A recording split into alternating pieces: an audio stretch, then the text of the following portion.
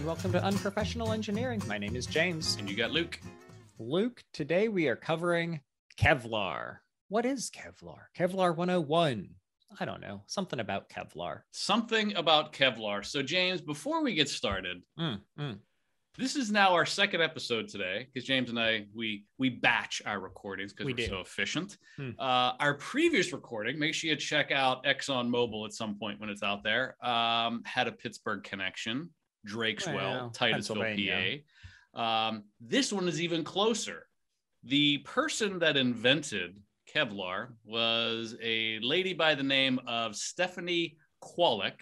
She was born in 1923 and unfortunately passed away in 2014.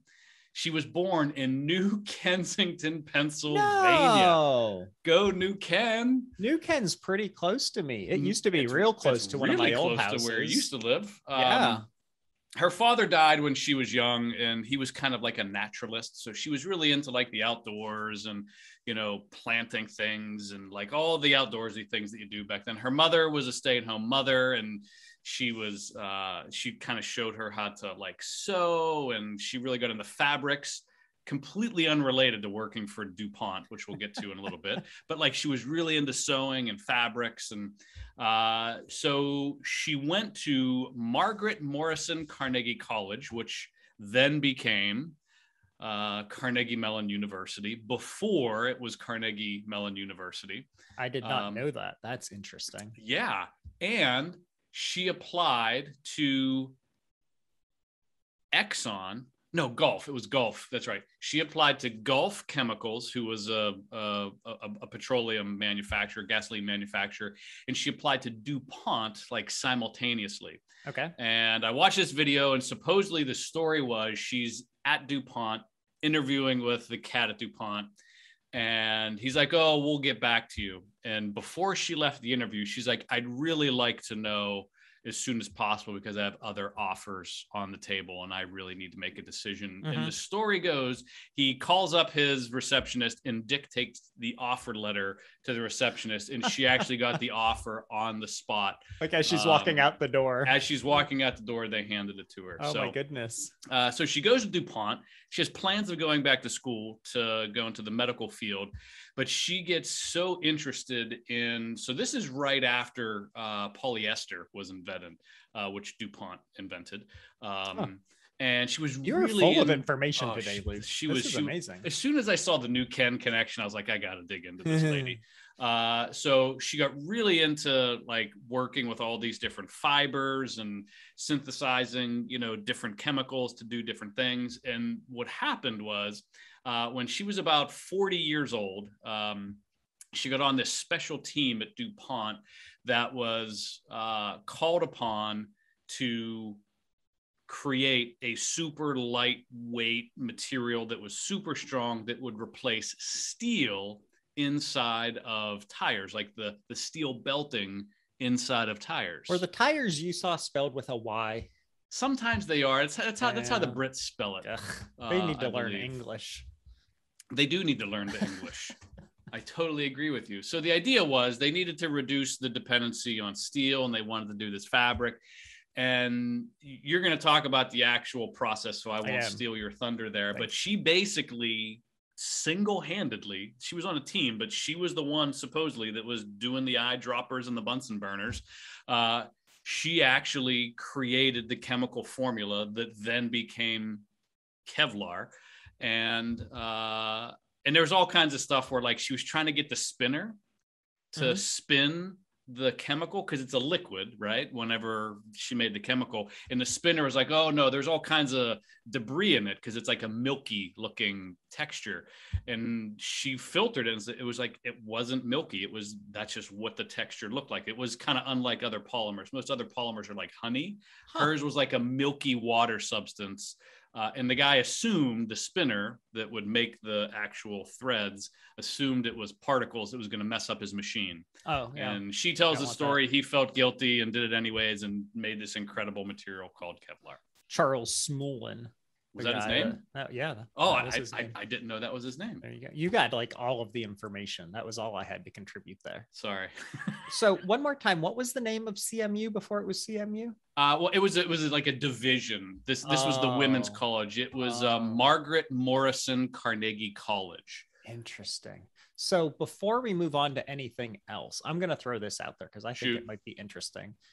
A series on the history of great universities.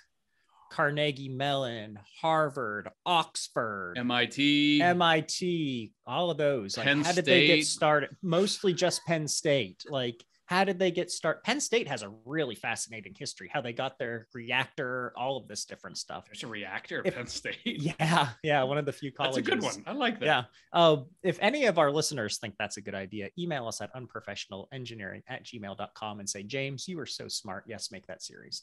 Um, okay. So, any more on that quick history about our friend Stephanie? Uh, no, she was just a huge pioneer. Obviously, she was, you know, uh, a, a, a female in a mostly male-dominated, yeah. you know, scientific field, and I'm sure it's still mostly male dominated. It is, So and- that's and she- fascinating. and she's super personable. Like I saw a bunch of videos she, was. did where she was actually talking with students and getting like kids into STEM, and Wow. uh, super nice lady and Pittsburgh native. I love it. I love that too. So before we get into how it's made, can I talk a little bit about what it is? Yes. Kevlar is a poly para. Oh goodness. Phenyl N terephthalamide. PPDT for those of you who can't pronounce that. Mhm. Um, the structure is composed of benzene rings. Gosh, I hate chemistry so much. It's composed of benzene rings responsible for high thermal stability, which is a big part of why Kevlar is so great, um, along with para substitutions, which result in high modulus of strength. Fun fact for you, Luke. You know, come on, you know high Para modulus, substitutions are my thing.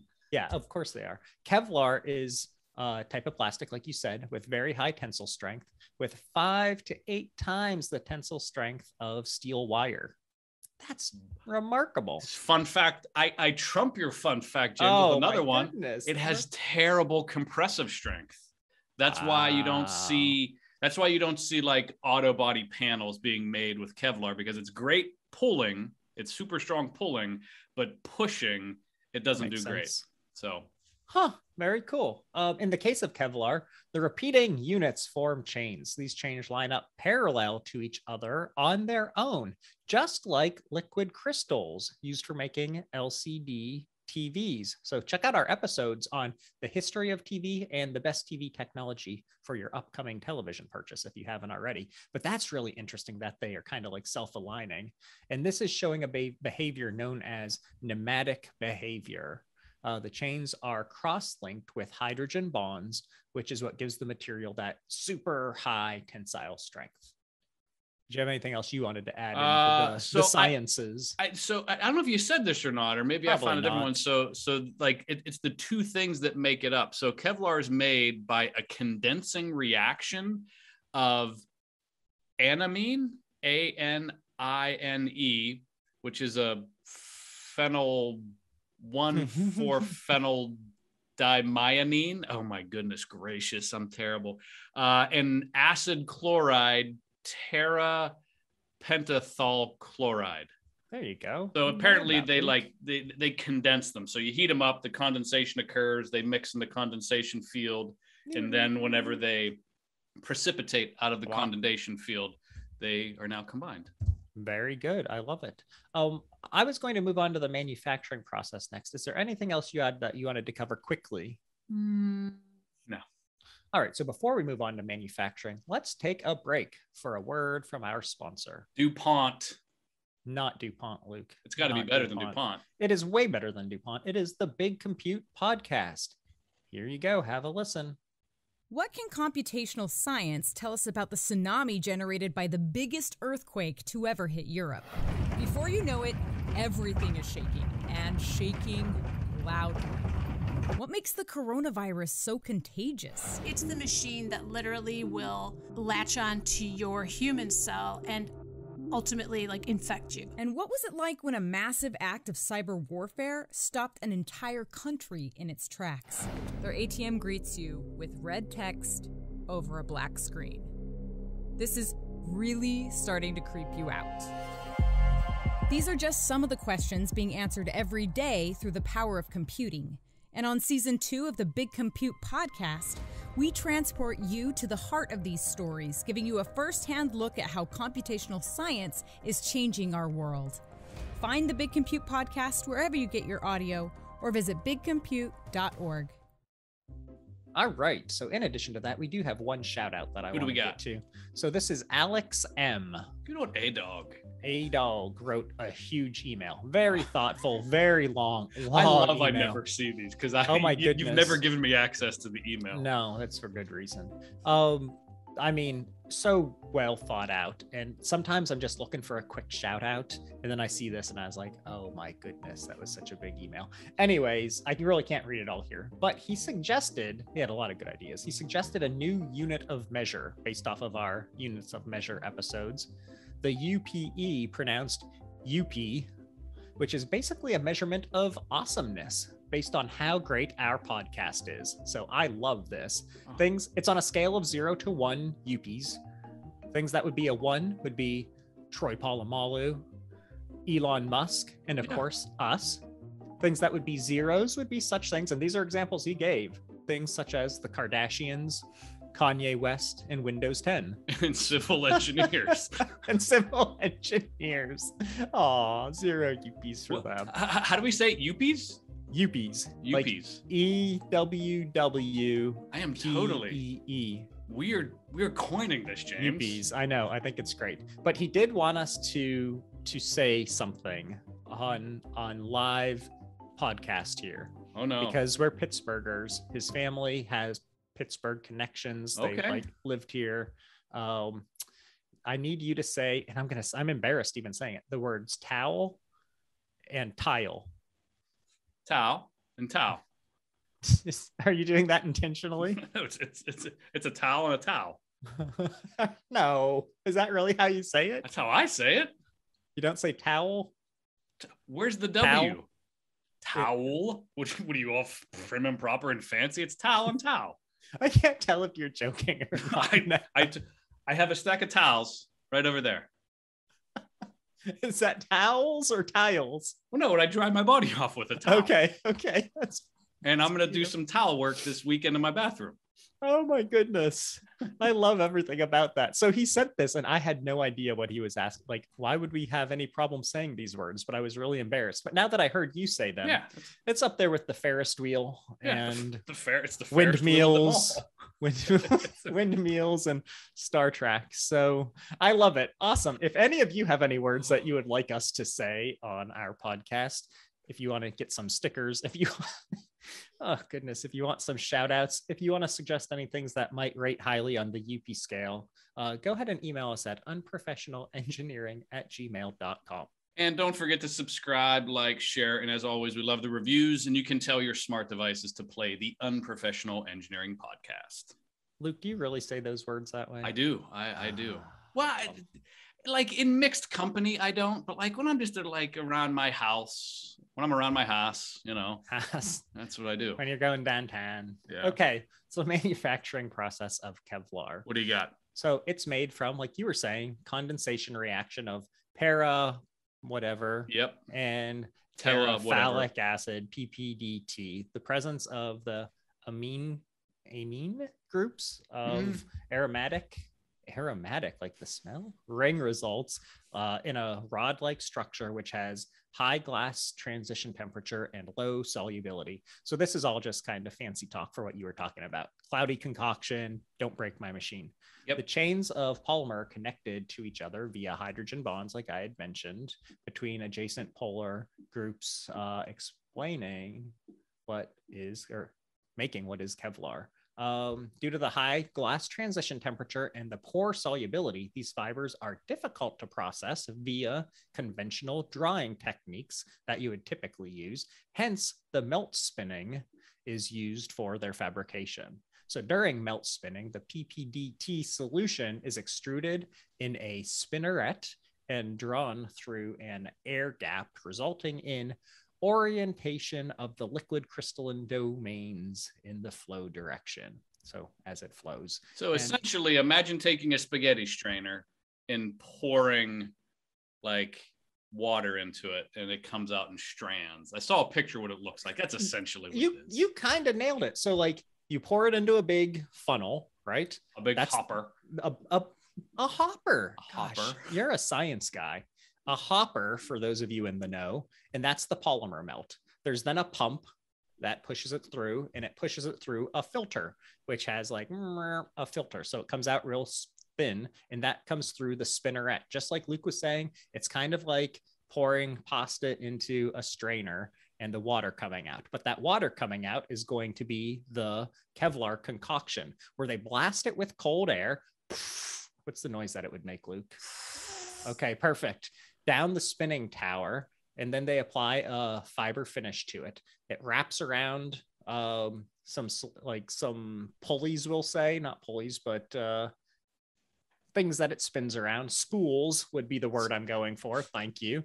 Um, and it, that helps solidify the fibers, and then it wraps that up in a coil kind of around another spool as the finished product. But all of this process is what it has to take to make it, since it's such a funky concoction, we're going to say. So instead of reading the paragraph that I had copy and pasted, I just described the picture that you were talking about. Yeah. Um, so liquid crystal polymer at the top, all the lines are squiggly and going in crazy directions. That gets through that melting spin, and that's what causes them to become parallel with each other. Yep. A line, thank you. Um, very high orientation with no chain folding, Luke, and that's what gives it its crazy strength. And then we spool it up, and we make sweet, sweet things out of it.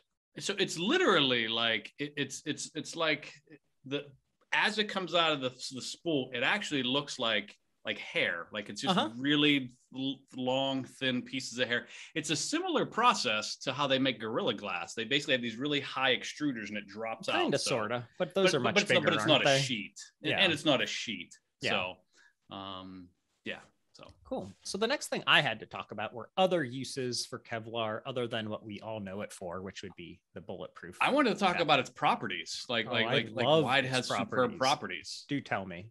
Okay, so uh, so first of all, you might not know this, but it, it's actually a plastic that doesn't melt. Uh, so it's reasonably good at withstanding temperatures all the way up to 450 degrees Celsius, which is about 850 degrees Fahrenheit.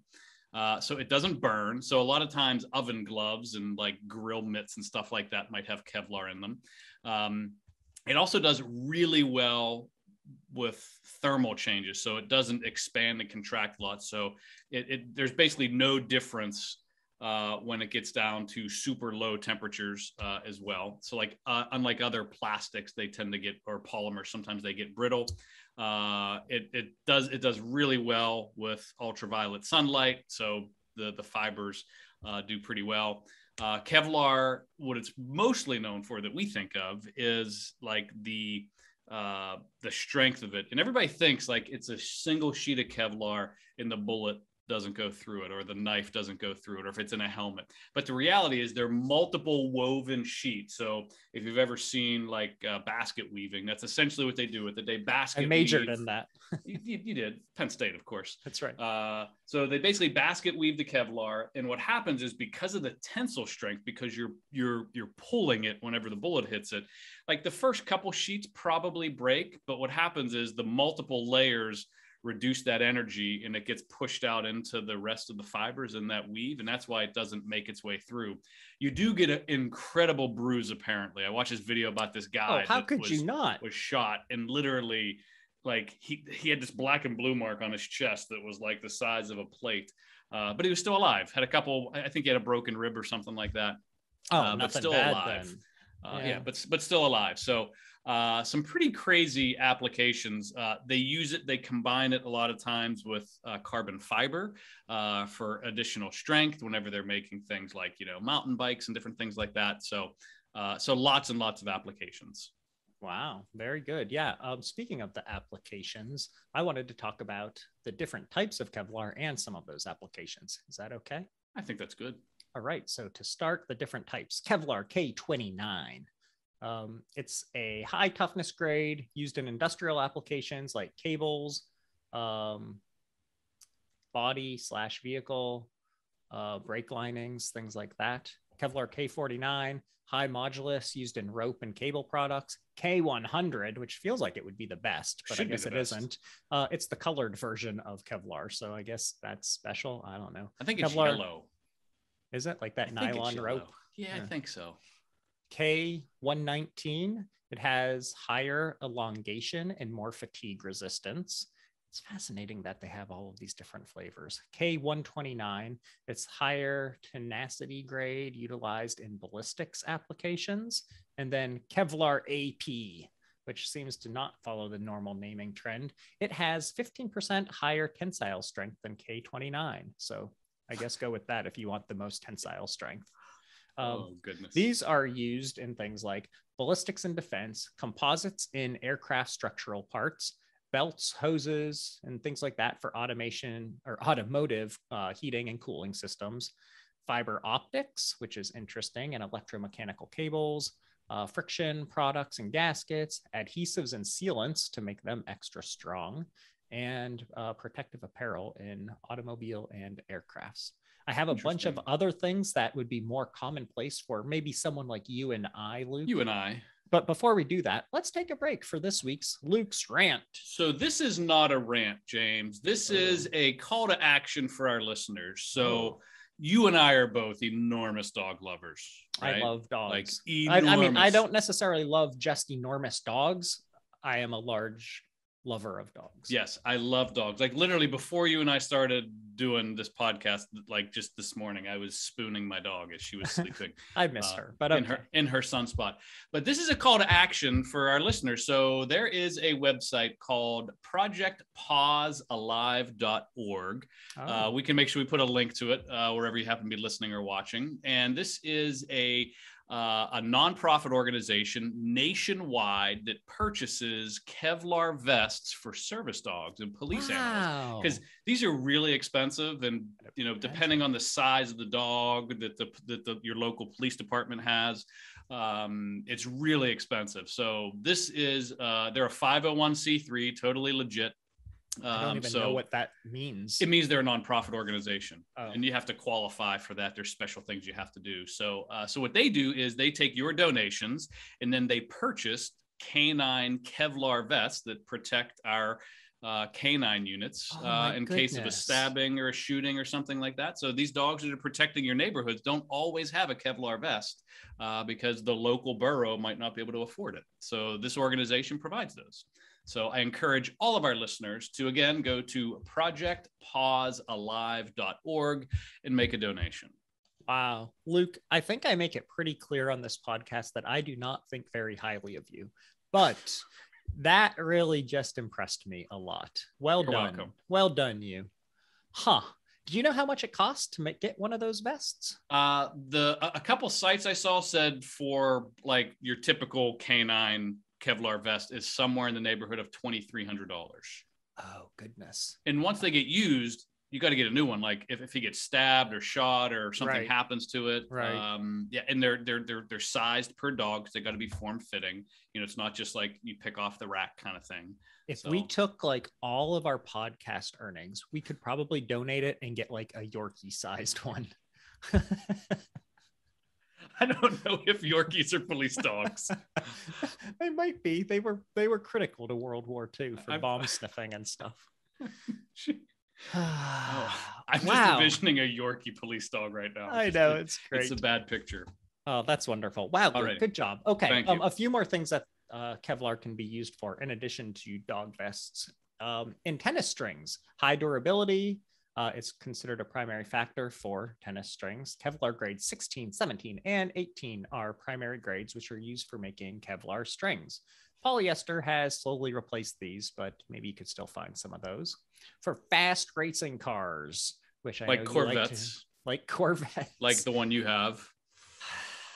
Much like the one I have, and bikes, much like the one you have. You have, you no- have a bike, There's, right? there's no Kevlar in my bike. Excessive friction on tires causes burning and overheating. Oh, maybe I do have Kevlar.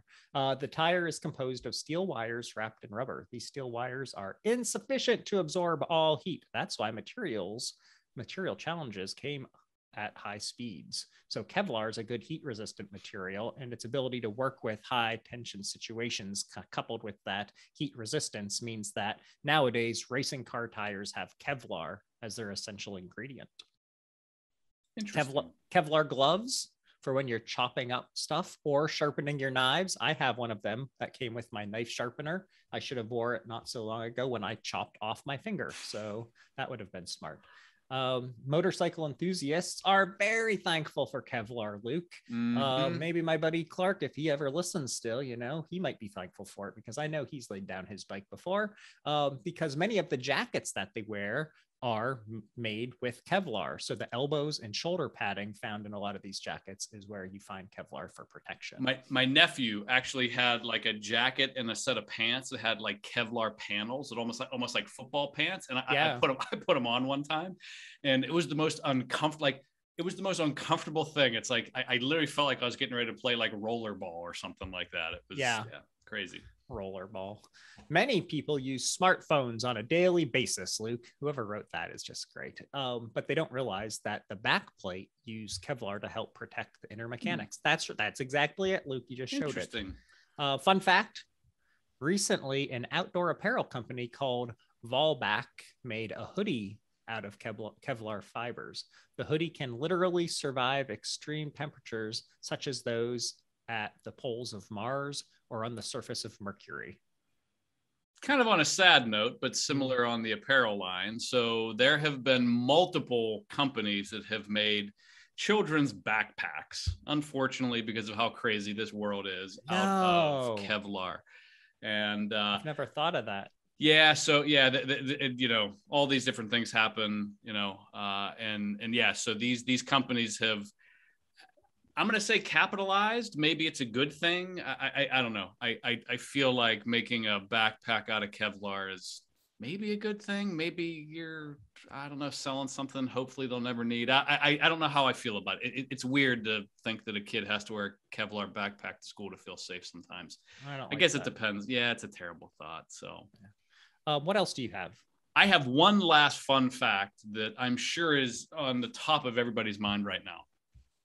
Um, James, I don't know if it's on the top of my mind, but go ahead. where did the name Kevlar come from? I don't, I don't know. Fun fact. Nobody knows. Ah. Apparently, uh, like I, I scoured, and when I say scour, it was It's a good. at least two minutes. It was a good six, seven minutes, James. Wow, you know me. you did And apparently, it was just like a marketing name. Like, like they, th- th- it's not related to the chemical properties. It's not related to the founder, uh, Stephanie.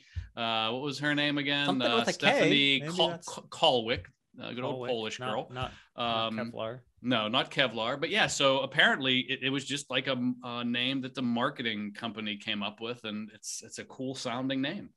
So That's interesting.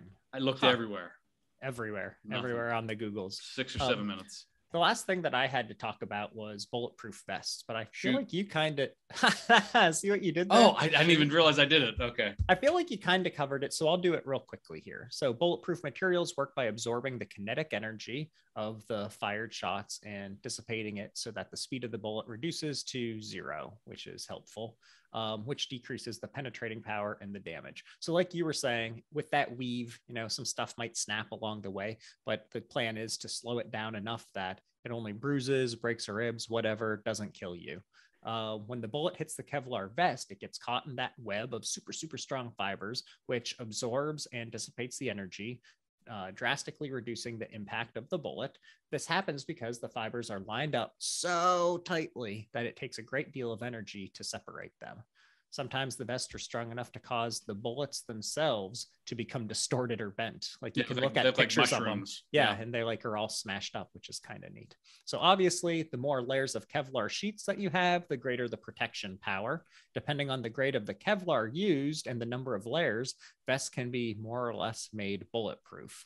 Uh, the vests are also used as armor against knives and daggers and other things. Do people use daggers still? I thought they like stopped using that in like Game of Thrones. Um, another added advantage is they're lightweight compared to their steel counterparts, so that's helpful, which were once worn by like knights and things like that. Do you think that it could? Do you think Valyrian steel could go through it or no? Uh, Luke, that was so so stupid. Obviously, it can. Come on. what kind of stupid question is that? Ah, I love that. Um, if you haven't checked out our episode on blacksmithing of medieval knights armor, do that. Or if you checked out our uh, weapons of the medieval times, torture devices, and things like that, check those out as well. They have nothing to do with Kevlar, but I love those no. episodes. Um, have you seen, real quick, um, the potential to use silkworm thread as a bulletproof material? Yeah, supposedly they cross, like they genetically engineer the silkworm with like some kind of spider too that has something in it and it makes the it makes the the silkworm thread like super strong. That's like straight out of the movie spider-man that makes me uncomfortable. It like if it would have just been silkworm spitting that stuff out and then weaving it together somehow real tight that's one thing. But when you start crossbreeding these animals to like make this product that oh, I don't know. It seems like they're just going to turn on us and take I, over the world. I saw this worm. it was like that. It was it was gross. It was this green worm. It was on my shed the other day, Ugh. and I'm just imagine that as a spider.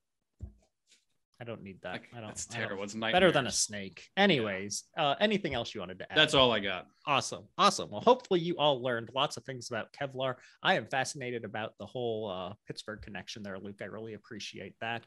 Again, if you think that the idea of uncovering the history of great universities, especially great engineering universities, is of interest, let us know by emailing us at unprofessionalengineering at gmail.com.